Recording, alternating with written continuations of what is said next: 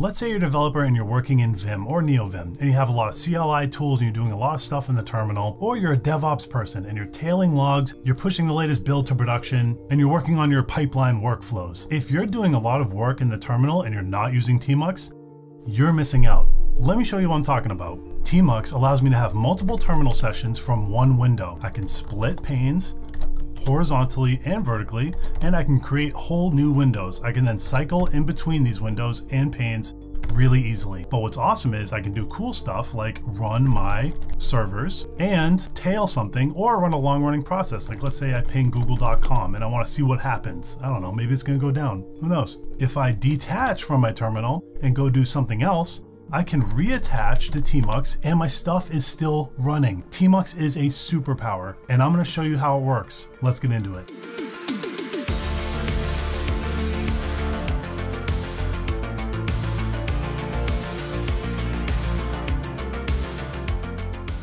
Now, I think Tmux is unbelievable and it's kind of a superpower for the terminal. And if you're an aspiring neckbeard like me, you should learn it. In fact, I think it's so important, I'm gonna make a little mini course on Tmux starting with this video right now. This is episode one. We're gonna talk about why Tmux is great, we're gonna talk about how it works, and we're gonna show off some of its features and functionality. In the next video, I'm gonna show you how to make Tmux look beautiful. That's right, the Tmux session you saw on the screen before this, that's not how Tmux looks, but we'll get there. And then finally, I'm gonna show you how I use it in my day-to-day -day workflow to get the absolute best productivity out of my terminal. It seriously is amazing and I'm excited to show you.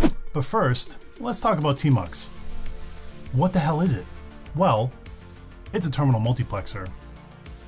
Okay, got it? No? All right, well, let me show you. Now let's say you're a user using a computer. This is me, by the way. Toph. That's me. Nice to meet you. Now, if I want to log into my terminal, typically what you have is a single pseudo login to one terminal instance at a given point in time.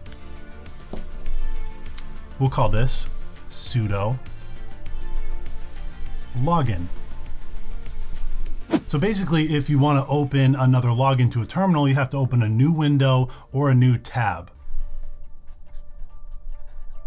This is your terminal and it's a one-to-one -one relationship. Okay, but now what if you're using Tmux? Well, Tmux allows you to do something a little bit different here. Let's say you're the user with Tmux, you are allowed to have multiple pseudo terminal logins tied to just one terminal session. So this is how Tmux works. You get multiple terminal logins for one user tied to a single controlling window. It is a multiplexer, or MUX for short, and it's for the terminal, so it's Tmux.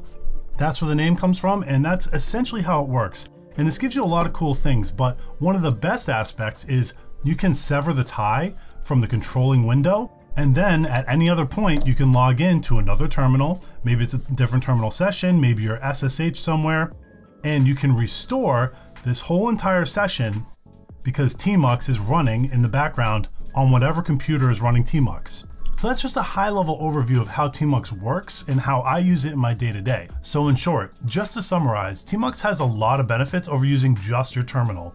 Number one, you have persistence, which means that you can start a Tmux session, detach, do something else, maybe you're working on something different or you go home and then SSH back into your work computer. When you open up Tmux again, that session is still there. It persists. Number two, you get session sharing, which isn't something we covered and it's not something I'm going to cover, but essentially you can have Tmux set up so that multiple users can use the same Tmux session, allowing you to pair program if you're a programmer. Funny story, I did this at a job once and it worked pretty well. And number three, you have multiple windows. And I would also add and panes.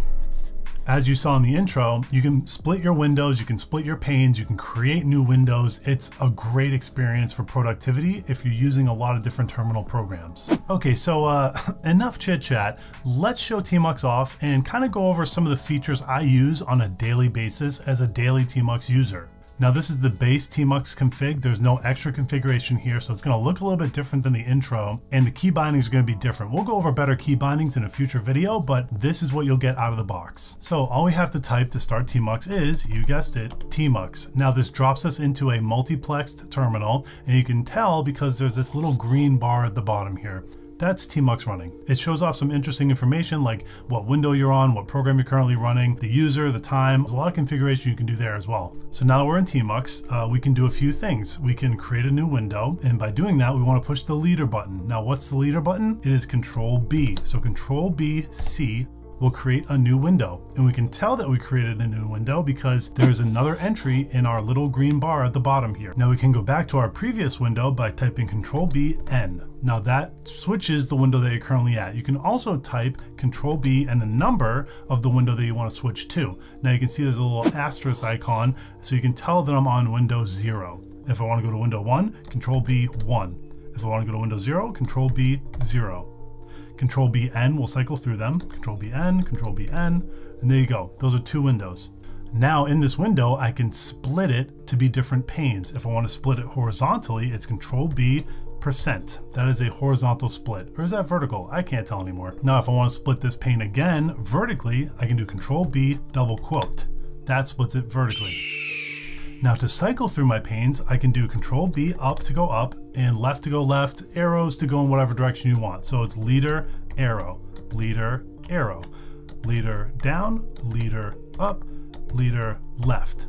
And so that's how you create windows, panes, and navigate between all of them. But what if you have multiple windows open and you want to rename them? Well, that's pretty easy too. Control B colon gets you into command mode in Tmux. Now that you're in command mode, you can type things like rename window and then you can type the name of your new window. Let's just call it poop. So now you can see our window name has been updated to poop. Pretty sweet. So let's say I'm doing something else and I want to detach from Tmux. That is leader D, D for detach. Now you can see I've detached from session zero. Okay, awesome. How do I reattach? Well, there's a couple things you can do. First, if you want to just see the list of sessions, you can do Tmux ls. That will list all the sessions that you currently have open in Tmux. Pretty neat. Next, if you want to reattach to your previous session, you do tmux attach. There you go. Now your session's back. You can see that our window still has that poop name on it and we're looking pretty good. So talking about sessions now, how do you create another session in Tmux? Well, let me detach from Tmux and then just type Tmux again. That will create a whole new session for you. You can see that there's no windows, no panes, and it's just a blank tmux instance. So this is cool and all, but what if I want to get back to my previous session? Well, from within tmux, it's actually really simple. Leader S will list all the sessions currently open in tmux. Then you can go up and down to navigate between them. And we can see that our previous session, uh, zero, has all of our panes and windows. And so we can hit enter to select that one and we're back in. But this session list isn't very easy to understand. How do we rename sessions? Well, through the command line, we can do leader colon and type rename session. And we'll call this one the poop session. Just because we named one of our windows poop, it seems fitting. So now if we list all of our sessions, we see poop sessions up top and then our unnamed new session that we created that's kind of blank is at the bottom. So now it's easier to understand where your sessions are. So then again now, if I detach from this session and type tmux ls, we see that we have two sessions. I can now reattach to my last tmux session, and that's not the one I want, so I can just switch it to go to poop session.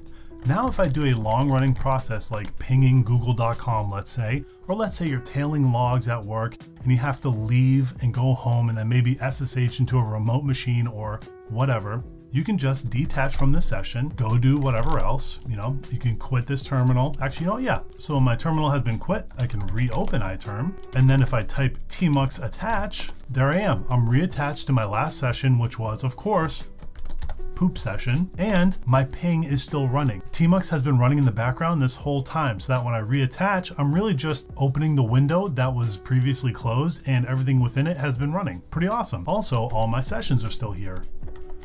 So in this video, we went over a little bit about how Tmux works, why maybe you would want to use it, and some of the benefits you get from it.